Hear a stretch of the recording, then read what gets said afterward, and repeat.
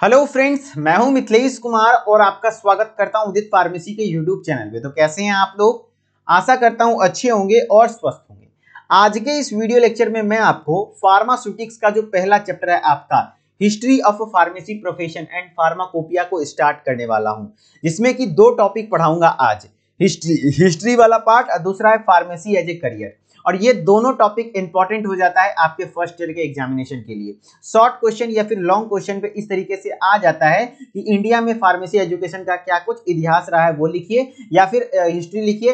और या फिर फार्मेसी एज ए करियर में क्या क्या अपॉर्चुनिटी हैं? क्योंकि आप फार्मेसी पढ़ाई कर रहे हैं तो आपको करियर के बारे में थोड़ा अच्छा नॉलेज होना चाहिए, है ना? और कई बार एमसीक्यू फॉर्मेट में ये हिस्ट्री वाले पार्ट से क्वेश्चन आता है और चूँकि अब आपको एग्जिट एग्ज़ाम देना कंफर्मेशन है तो मैं हिस्ट्री में उन सारे पार्ट्स को ज़रूर कवर करूँगा जो कि एमसीक्यू के लिए इंपॉर्टेंट है और कई बार अलग अलग फार्मासिस्ट के एग्ज़ाम में पूछे जा चुके हैं, है ना? जो कि देखिए हिस्ट्री अगर पढ़ाने लग जाए तो काफ़ी एक डेढ़ घंटे तक लगातार आपको हिस्ट्री में पढ़ाता रहूँगा। है ना? अलग अलग किताबों में जितना दिया हुआ है। लेकिन उन सारे पॉइंट्स को मैं यहाँ पर टच नहीं करूँगा। मैं उनको टच करूँगा जहाँ से एमसीक्यू लगातार एग्ज़ाम में पूछे जाते हैं, यानी इंपॉर्टेंट पॉइंट्स और यदि डिटेल में पढ़ना है तो बुक को आप रेफरेंस के तौर पर पढ़ सकते हैं, ठीक है? या फिर आपको हमारे पेड क्लासेस में डिटेल में पढ़ाया हुआ है, ठीक है? चलिए स्टार्ट करते हैं। स्टार्ट करने से पहले मैं आपको बता दूँ कि यदि आप फ़र्स्ट ईयर में अभी इसी प्रकार से पूरे सिलेबस को कवर करना चाहते हैं और अपने एग्जिट एग्ज़ाम के टेंशन को खत्म करना चाहते हैं तो अभी आप उदित फार्मेसी के ऐप को डाउनलोड करिए और आप हमारे साथ अपनी तैयारी को कंटिन्यू करिए। फ़र्स्ट ईयर और सेकेंड ईयर में ही इतना पढ़ा देंगे कि आपको एग्जिट एग्ज़ाम के बारे में सोचने का कोई दिक्कत नहीं आएगा। पूरा भर भर के लाइव क्लासेज स्टार्ट हो चुकी हैं। एमसीक्यू वगैरह लाइव क्लास में प्रैक्टिस करवाएँगे और फ़र्स्ट ईयर का भी आपको तैयारी करवाएँगे, ठीक है? तो एकदम बढ़िया से आप कोर्स को ज्वाइन कर सकते हैं, जो कि डेली लाइव क्लास स्टार्ट हो चुका है फ़र्स्ट ईयर में भी और सेकेंड ईयर में भी ओके चलिए। पहला टॉपिक आपका रहेगा history of the profession of pharmacy pharmacy profession का क्या कुछ इतिहास रहा है? मेरा पढ़ाने का तरीका कुछ इस प्रकार से कि यदि आपको ये टॉपिक से क्वेश्चन आ जाए तो किस प्रकार से आंसर आप लिखेंगे? तो सबसे पहले तो आप थोड़ा सा वर्ड फार्मेसी को तोड़ेंगे कि आखिर जो वर्ड फार्मेसी है वो टेकन किया गया, किस वर्ड से लिया गया है? तो ग्रीक वर्ड फार्माकॉन से लिया गया है? क्या ग्रीक वर्ड फार्माकॉन से लिया गया है जिसका मतलब होता है ड्रग्स जिसका मतलब क्या होता है? ड्रग्स ड्रग्स मतलब क्या हुआ? मेडिसिन दवा। है ना? तो फार्मेसी जो है, एक ग्रीक वर्ड फार्माकॉन से लिया गया है, जिसका मतलब क्या होता है? ड्रग्स ठीक है? फिर कहता है various programs are offered in pharmacy field pharmacy field में अलग अलग प्रकार के कोर्सेज कई प्रकार के कोर्सेज ऑफर्ड किए जाते हैं। जैसे कि B pharma bachelor of pharmacy D pharma जो आप लोग कर रहे हैं diploma in pharmacy M pharma masters of pharmacy M S pharma फिर फॉर्म डी जैसे कोर्सेज भी होते हैं जो कि डॉक्टरेट लेवल का कोर्स है। है ना? छह साल का पोस्ट ग्रेजुएशन वाला कोर्स है, जिसको करने के बाद इंसान अपने नाम के आगे डॉक्टर लगा लेता है वो डिग्रीधारी है ना? तो काफ़ी फार्मेसी में कई प्रकार के। अब तो इतना डेवलपमेंट हो रहा है धीरे धीरे फार्मेसी का फ़ील्ड बहुत अच्छे से डेवलप होते जा रहा है तो अलग अलग प्रकार की करियर अपॉर्चुनिटीज़ यहाँ पर खुलती जा रही हैं। यहाँ पर मेनली है नॉलेजेबल पर्सन होना चाहिए स्किल्ड होना चाहिए, उसके बाद उसको नौकरी की कोई दिक्कत नहीं होगी। ये यकीन मानिए, है ना?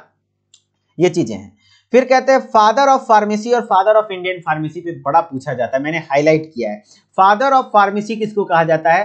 विलियम प्रॉक्टर जूनियर को, किसको? विलियम प्रॉक्टर जूनियर को, जो कि एक अमेरिकन फार्मासिस्ट थे। इसीलिए इसको फादर ऑफ़ अमेरिकन फार्मासिस्ट भी बोल देगा, अमेरिकन फार्मेसी तो विलियम प्रॉक्टर जूनियर ही होगा। तो मतलब इसको कह सकते हैं कि पूरे विश्व का जो फार्मेसी जगत का जनक है, यानी कि फादर ऑफ़ वर्ल्ड फार्मेसी भी बोल दिया जाए तो विलियम प्रॉक्टर जूनियर होगा। लेकिन जब हमारे भारत की बात आए तो भारत में किसका राज चलता है? महाकाल का। किसका? महाकाल का। तो यानी महादेव लाल श्रॉफ। कौन? महादेव लाल श्रॉफ। तो फादर ऑफ़ इंडियन फार्मेसी याद रखिएगा, महादेव लाल श्रॉफ। इंडिया में जो फार्मेसी एजुकेशन है, इंडियन फार्मेसी एजुकेशन के जो जनक हैं, वो कौन है? महादेव लाल श्रॉफ, जिसको हम लोग प्रोफेसर एम एल श्रॉफ भी कहते हैं। है ना?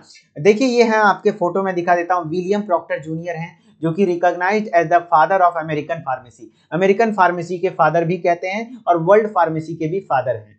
ये हमारे प्रोफेसर हैं, father of pharmacy education in India, जो कि प्रोफेसर महादेव लाल श्रॉफ हैं, जिन्होंने इंट्रोड्यूस किया था बैचलर और master course in India in pharmaceutical in India मतलब इंडिया में मास्टर्स और बैचलर कोर्स को स्टार्ट करने वाले यही हैं, है ना? कई सारी चीज़ों, इनकी उपलब्धियाँ हैं। Edited first Indian journal pharmacy journal of pharmacy को एडिट किया था।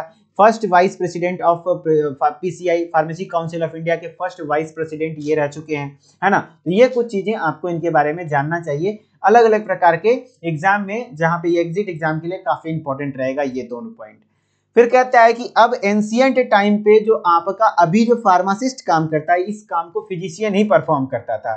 तो ये बोल रहा है फिजिशियन कौन है? जो डॉक्टर है ना फिजिशियन तो ये बोला इन एंशियंट पीरियड प्राचीन काल में it was believe that a physician perform the pharmaceutical work दवा से रिलेटेड जो भी काम है, दवा का फॉर्मुलेशन रिलेटेड तो वो सारी काम फिजिशियन ही करते थे।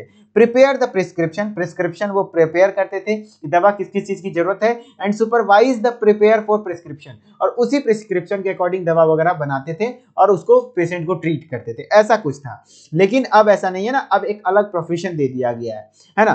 फिर कह रहा है London pharmacopoeia became available in India 1824 1824 ईस्वी में इंडिया में लंदन फार्माकोपिया आया। अब ये फार्माकोपिया क्या है, सर? तो फार्माकोपिया एक ऐसी किताब होती है, ऑफिशियल बुक होती है, जो कि रेस्पेक्टिव गवर्नमेंट के द्वारा रेस्पेक्टिव कंट्री के रेस्पेक्टिव गवर्नमेंट के द्वारा जारी की जाती है। मान लीजिए इंडिया में इंडियन फार्माकोपिया भी चल रहा है। तो इंडिया के अंदर जितने भी ड्रग्स हैं, जितने भी ड्रग्स मार्केटेड हो रहे हैं बिक रही है। सारे ड्रग्स का हर एक इंफॉर्मेशन किसमें डाला हुआ है? इंडियन फार्माकोपिया में। तो पहले तो इंडिया फार्माकोपिया इंडियन फार्माकोपिया था नहीं।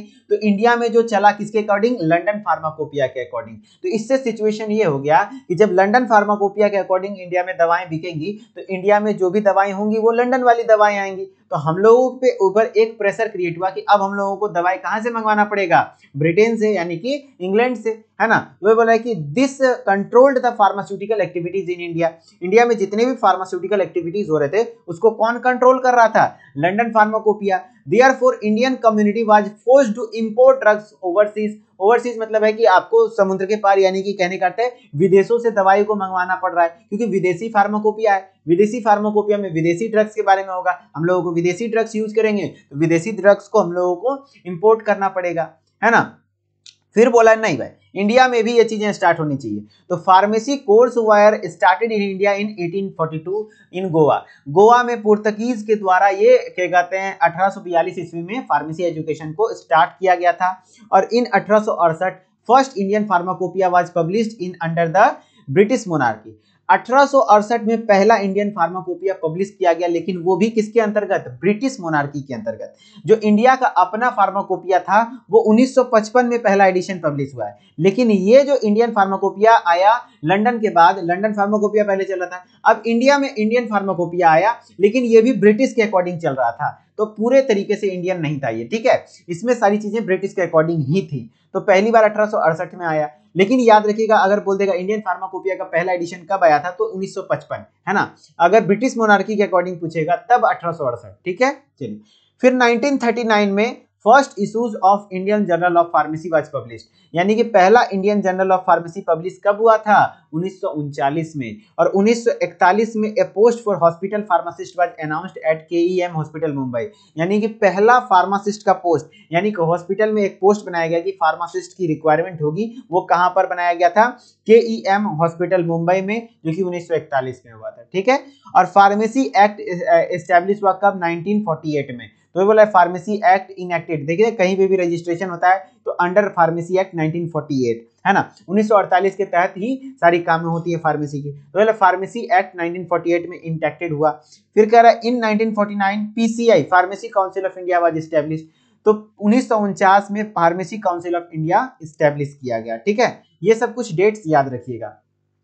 इतना कुछ मैंने हिस्ट्री बताया काफ़ी है, इतना पढ़ लीजिए, इतने लिख दीजिएगा तो मार्क्स मिल जाएँगे। और भी पढ़ना है तो बुक को आप प्रेफरेंस दे सकते हैं। अब बात कर लेते हैं फार्मेसी एज ए करियर पे यदि क्वेश्चन आ जाए, इससे एमसीक्यू वगैरह तो नहीं बनेंगे, लेकिन हाँ आपके एग्ज़ाम में शॉर्ट क्वेश्चन या लॉन्ग क्वेश्चन पर आ जाए तो आप इस प्रकार से टॉपिक वाइज लिख सकते हैं, मैं दिखा देता हूँ। कह रहे there are huge scope in pharmacy field as a career कह कहने की बात कहें तो फार्मेसी फ़ील्ड में स्कोप स्कोप की कमी नहीं है ह्यूज स्कोप है है ना? कई सारे स्कोप्स हैं, जैसे कि पहला आप पॉइंट वाइज देखिए पहले में एकेडमिक्स एकेडमिक्स मतलब है कि आप यदि फार्मेसी में अच्छा एजुकेशन प्राप्त करते हैं डी फार्मा के बाद बी फार्मा कर लेते हैं तो बी फार्मा करने के बाद आप डिप्लोमा वाले को पढ़ा सकते हैं. फिर बी फार्मा करने के बाद एम फार्मा कर लेते हैं तो आप बी फार्मा वाले को पढ़ा सकते हैं. तो आप एकेडमिक सेक्शन में भी आ सकते हैं. तो वही बोल रहा है कि pharmacist as a teachers have various role to play in teaching institution institution में टीच कर सकता है. They can teach student student को पढ़ा सकता है. Do the research work research work कर सकता है। There is a lot of demand of qualified teacher in upcoming time आने वाले समय में क्वालिफाइड टीचर्स का बहुत ज़्यादा डिमांड होने वाला है, क्योंकि फार्मेसी कॉलेजों की संख्याएँ काफ़ी बढ़ रही हैं और फार्मासिस्ट का जो उपयोग है, यानी कि ज़रूरत है, वो भी बढ़ रहा है। तो इस वजह से क्वालिफाइड टीचर्स की ज़रूरत होती है। Teacher make time to get exposure to pharmaceutical industry and practical setting to keep themselves updated teachers जो है, खुद को अपडेटेड रखने के लिए फार्मास्यूटिकल इंडस्ट्री या फिर प्रैक्टिकल सेटिंग को लेकर के भी देखते रहते हैं ताकि वो भी अपडेटेड रहे। है ना? दूसरा है आपका कम्युनिटी फार्मेसी के तौर पे काम कर सकते हैं। कम्युनिटी फार्मेसी कहने का मतलब हुआ कि अपना मेडिकल स्टोर वगैरह डाल करके या फिर कम्युनिटी फार्मासिस्ट बन सकते हैं। हॉस्पिटल वगैरह में फार्मासिस्ट के तौर पे काम कर सकते हैं। है ना? वही बोला है। और ये फार्मासिस्ट क्या होता है? तो pharmacist act as a mediator in between patient and doctor patient और डॉक्टर के बीच के मीडिएटर का काम कौन करता है? हाँ फार्मासिस्ट करता है। तो ये बोला therefore he also he can also provide counselling to the patient and can also provide training to the patient regarding self medication यानी कि फार्मासिस्ट भी पेशेंट को इस बारे में काउंसलिंग दे सकता है कि आप सेल्फ मेडिकेशन मतलब है कि दवाओं को खुद से उपयोग कैसे करें, कौन सा दवा कब खाना है, नहीं खाना है, भूखे पेट कौन सा खाना है, ये सारी चीज़ें बता सकता है। है ना? एज ए कम्युनिटी फार्मासिस्ट आप काम कर सकते हैं। तीसरा रेगुलेटरी अफेयर्स ये हाई प्रोफ़ाइल जॉब अगर आता है, जैसे डीआई बन सकते हैं डीसी बन सकते हैं ड्रग कंट्रोलर ड्रग इंस्पेक्टर ये सब अगर बी फार्मा करने के बाद ये अपॉर्चुनिटीज़ खुल जाती है। तो कह रहा है pharmacist can work in the drug control department in various sections drug control department है ना, उसके वेरियस सेक्शन में, जैसे कि सी डी एस सी ओ है, जैसे कि central drug standard control organization इसका फुल फॉर्म होता है। Is the central body in the India for drug control India में जो ड्रग को कंट्रोल करने का ऑर्गेनाइजेशन है, वो क्या है? सी डी एस यानी कि central drug standard control organization जिसके तहत आप काम कर सकते हैं। कह रहा है कि their task is to ensure standard of drug from its making to supply कोई ड्रग्स बनने से लेकर के सप्लाई होने तक उसके क्वालिटी को स्टैंडर्ड कर रखने के लिए मेंटेन रखने के लिए ये कमांड करता है। फिर कह रहा है कि drug inspector drug controller ETC are there to give manufacturing approval इसी के अंदर अलग अलग प्रकार के पोस्ट आते हैं, जैसे ड्रग इंस्पेक्टर ड्रग कंट्रोलर ये अप्रूवल प्रोवाइड करते हैं मार्केटिंग के लिए मार्केटिंग अप्रूवल फॉर ड्रग है ना? मैन्युफैक्चरिंग अप्रूवल प्रोवाइड करता है कि कौन ड्रग मैन्युफैक्चर आप कर सकते हैं. They also work in drugs testing laboratories with the head department head department के साथ लेबोरेटरी वगैरह में भी काम कर सकता है।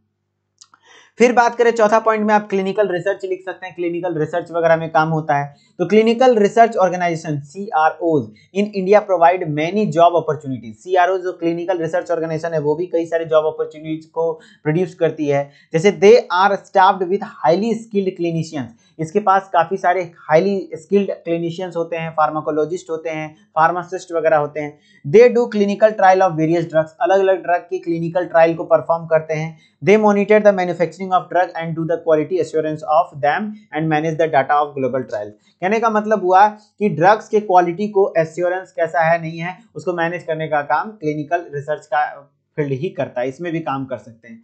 फिर एज ए कंसल्टेंसी के तौर पे भी काम कर सकते हैं।